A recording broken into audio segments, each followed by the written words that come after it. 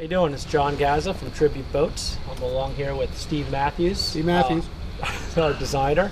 Um, Steve and I got together quite a few years ago to work on some projects for some other boats, and uh, started talking about a high-performance hull capable of carrying uh, speed in rough water conditions, uh, comfortable for its occupants, and uh, started designing this uh, new bottom.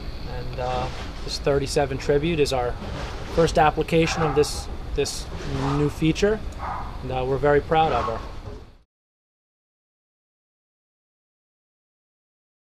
I'm very familiar with longitudinal step bottoms. Is Carl Moesly is a good friend of mine, and you know he had that company Seacraft back in the '60s, and there was a lot of things that he developed back then he didn't get a chance to expand on. So he enlightened me to the possibilities of what you can do with a longitudinal step.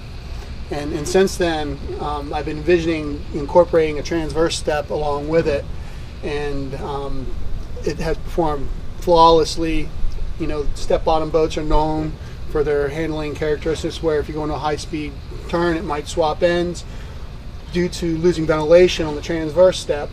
But due to this design, you get air from the front as well as the side, so it eliminates that possibility.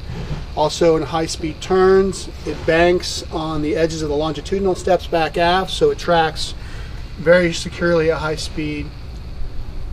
And so far, we haven't really come across any shortcomings on the design yet as far as performance and efficiency is concerned.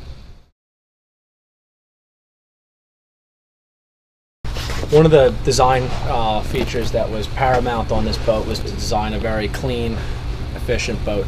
Um, less is more.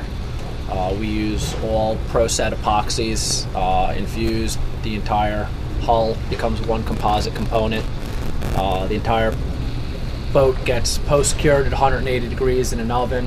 Uh, we finish the entire boat, which you'll see later in the video.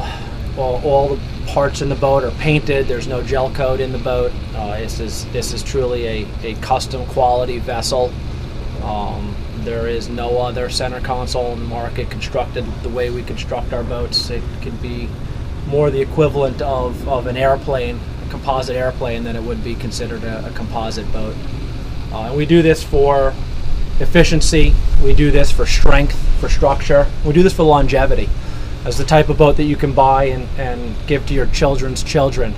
You know, maybe six or eight sets of motors later. Um, we design and build the boat to last as long as you do.